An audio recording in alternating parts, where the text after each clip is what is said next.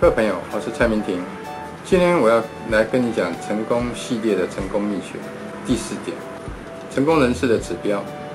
什么叫做成功人士的指标？是，譬如说，成功的医生的指标是什么？就是手术成功，就是把病人治好。那么，一个律师的指标是什么？帮他的当事者打赢那个官司，这个叫做成功的律师的指标。那么，你的目标是什么？你的指标是什么？今天我要跟大家分享一些这些成功人士现在已经在世界上被证实，他们几乎是大家都有的指标。第一个指标叫做一致的价值观。所谓的一致价值观，就是说你会看到的这个人是从一开始他的价值观是一致的，而不是会说，哎，现在是讲这样子，接下来讲这样子。就像来讲，我这个人很重视环保。我很 care 我们的地球，我们的生活环境能够永续成长，所以我重视环保。其实我重视环保，源自于说我自己本身，我从小鼻子就过敏，后来才发觉我是对空气过敏，我对高雄的空气很过敏，应该说很感冒，所以我非常非常的在意环境的破坏。所以我你看到我在贴的文，只要这种的，我一定是反对到底。这个就是我的价值观。我不是说我成功人士。我希望你现在开始，你要列一张单子、小笔记本写下来，你的价值观是什么？也许你并不知道，但没关系，你就写，因为慢慢的你就会知道说，原来我的价值观是这样子。所以你去看看，巴菲特有他巴菲特的价值观，陈树杰阿妈有他的价值观，十块钱的便当阿妈有他的价值观。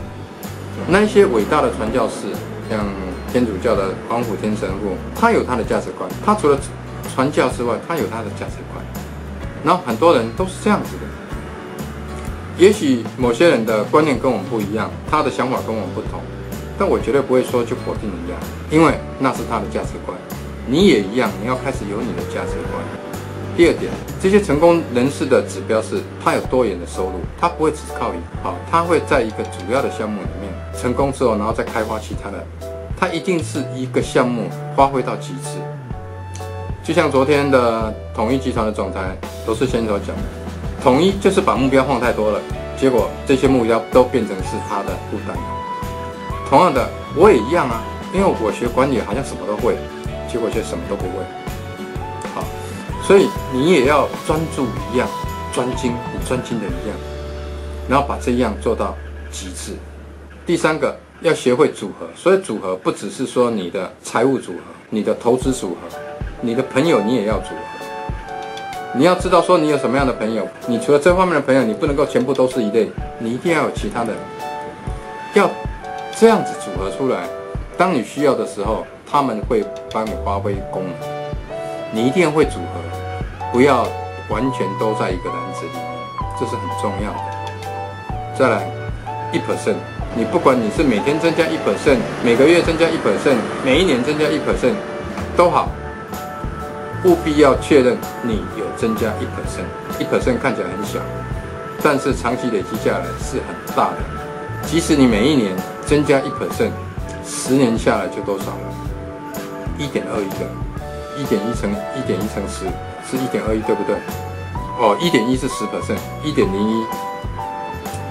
反正你要记得，即使你每一年只成长一 percent，十年下来也是很可观的。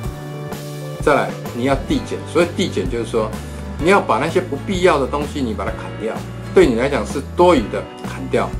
这些成功人士，他不是那一种什么都会的。最后一点，你要把前面讲的把它加成起来，你要它变成乘数效应。这在我们管理学里面非常强调的一个叫做中效乘数效应。还有，在跟人家谈判或者是在跟人家做任何事情的时候，一定要去注意一件事情。除的效应，你可以一段一段买，一块一块买，切小买，大问题切成小问题，小问题再切成更小的问题。对于你的缺点，对于你的问题，对于你要处理的，要切成小的。但是呢，你的强项，你的价值，你要把它放大，放大到很大。好，最后一点，务必要知道趋势。这个时代是趋势在领先的。四十年前、五十年前，脚踏车当道。到现在，你假如说在投资进入到脚踏车这个产业，有办法成功吗？有，但是我相信很少。像现在加汽油的摩托车，这些大厂商还会投资很大的心力到加汽油的摩托车这个来投资来研发吗？我想也很少。永远要去走趋势，而且趋势可以的话，走在最前面，最前面有那一种优势在。也许你会孤单一阵子，但是当你假如成功了，你会变成是一个专业的 pro。各位朋友，到我的社团来，我们会给你更多，带领你更多。谢谢你，今天的课程到这里告一段落，拜拜。